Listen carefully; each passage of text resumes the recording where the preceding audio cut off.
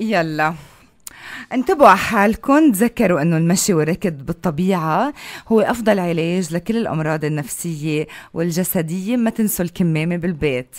خدوها معكم خاصة إذا كنتوا ساكنين آه، بكسروين أو ب آه، المتن على أنواعه. آه، دخنوا قد ما بدكم. لأنه التدخين صحيح بيزيد من خطر الإصابة بمشاكل صحية مثل السرطان القلب الرواية وغيرها بس اللي عم نشمه أضرب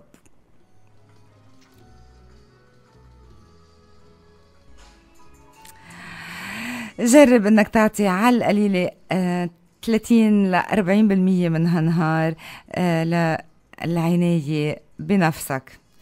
آه شكلك صحتك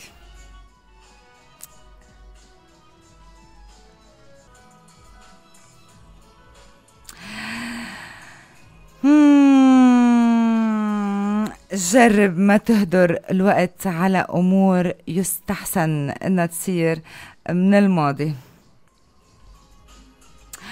آه، ما في حدا بضل يسيء لإلك. بيسيء مرة ومفروض يفل بس أنت بتضلك تعيد الإساءة بذاكرتك.